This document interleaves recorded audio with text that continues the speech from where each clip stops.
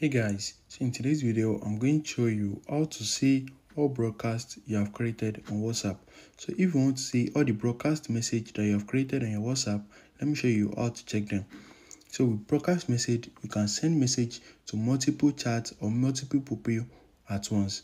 So if you want to see all the broadcasts you have created open your whatsapp and you need to click on your settings right here. Once you click on settings right here you are going to see broadcast list so we just click on it and we're going to see all the messages you have created in your broadcast you can select any of them and as you can see this is the message. So let's go back and you can select any of them. So if you want to delete it you can just swipe left like this to delete it. So it is very easy and straightforward.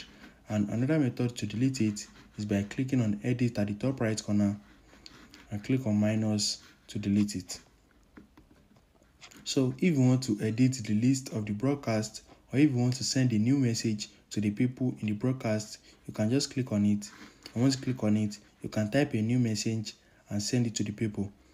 Or you can just click on message at the top and you're going to see the list. So these are the people that you added to the broadcast. You can also click on edit list to add or remove more people. So you can click on this cancel to remove someone from the broadcast or click on this add or you can also search for people that you want to add. So if you found this video helpful smash the like button and subscribe to my channel for more amazing videos like this. Thanks for watching guys